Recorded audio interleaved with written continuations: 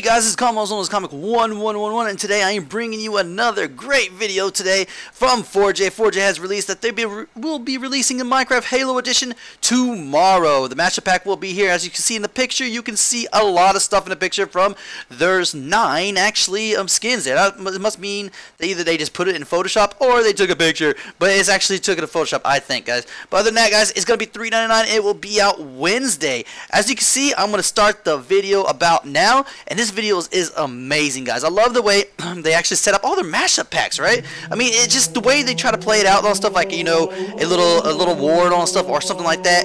It's pretty amazing. I like it. I mean, there's, of course, there's going to be a lot of features to this. It's going to be a themed world. It's going to have uh, my uh, Halo themed creations, which as you're seeing and everything, and it's going to have the landscape for it. I mean, the pack is going to be basically to the what the Halo world is, guys. I mean, a lot of people, um, there's a lot of people play Halo, but there's some who don't know and all stuff, and this is a good gist of what it's going to be like, guys. It is wow, I just to love it. It's pretty cool. It's awesome. It's something I'm going to get. Hopefully we get some early access codes, guys, because if we get early access codes, then we can actually review it and show you a video, guys.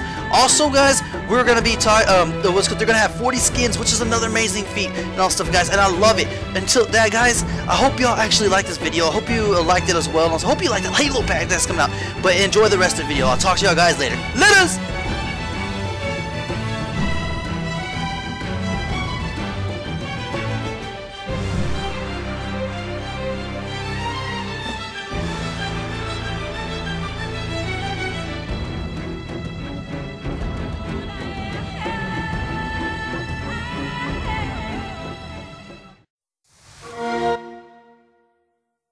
Like it a lot. Um, it looks so cool and all stuff.